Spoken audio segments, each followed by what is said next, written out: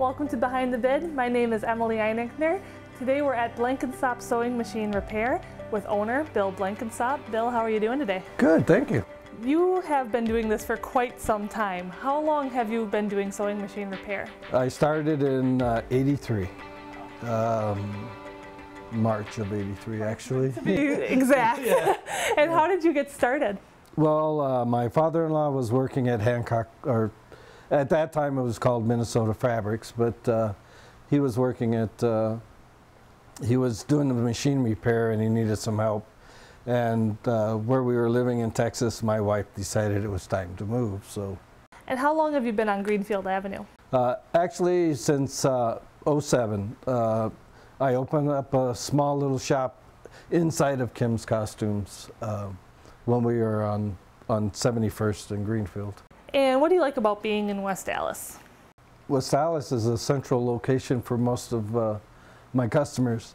Um, when I worked for Hancock Fabrics, I had uh, six stores inside the city, uh, two, two on the south side and four on the north side. And uh, we had uh, Glendale, where, where that new mall is, that wiped out that one store. We were on uh, Times Square and we were on Good Hope. And we were in West Allis and also in uh, 27th and Loomis. So So in addition to sewing machine repair, you also do knife and scissor sharpening. Correct. So how long have you been doing that for? Uh, the same amount of time. It, it, it went uh, with uh, the sewing machine repair at Hancock Fabrics. Uh, scissors and all that just sort of came along with uh, learning the trade of uh, repairing sewing machines. So do you have any tips for anybody at home that has a sewing machine that they can keep it in working order? The number one thing on sewing machines is, is to change your needles every eight hours of sewing, which is approximately every two garments. And then to use the right needle for the right garment will will also help prolong your machine and also the right thread. So if somebody brings in their sewing machine, about how long is the turnover for you to fix it? Um, the average turnover right now is about 24 hours if it's just a basic cleaning, oiling, and adjusting. Or if it needs minor repairs and tweaking, we can do it within 24 hours. And how often would you suggest someone brings in their sewing machine for the tune-up? Uh, I, my recommendation on that is a little different than a lot of other people. Some people will say every year. I say between every uh, three to five years, closer to two to four would, would be good depending on your comfort with it. And also when the machine starts making noise that it hadn't made before, it's a good time to just bring it in and have it checked out. Obviously there are tons of sewing machines on the market, so you must have to have a wide knowledge of all these different sewing machines. Uh, believe it or not, as, not as wide as you would think because every sewing machine, the, I, I'm really locked in on certain machines because I don't do industrials. I don't do multi-stitch uh, needle machines and stuff like that. I do basically the consumer's uh, machines. So the like in-home. Yeah, the domestic type of machines.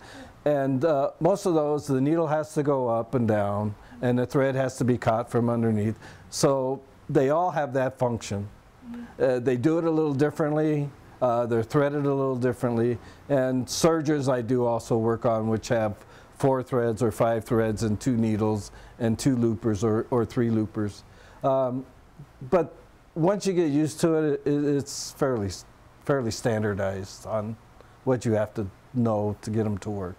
So some of the machines on the market, they'll come with a warranty if you buy them. So if something happens to the machine in that time period, would you suggest they still bring them here? Should they take them to the manufacturer? No, I would take it back to the dealer that sold you the machine. Now, if you got it on Amazon or something like that, then yeah, bring it in here because, the, you know, but uh, most of the dealers, if they sell the machine, will warranty their own machines. And also, all the work I do on the machines, I do guarantee all my work for a year. Most, most places are um, around 90 days. And I feel that's a little short on, uh, on a warranty because a customer will bring in a machine, get it fixed, put it aside for a couple months before they even use it.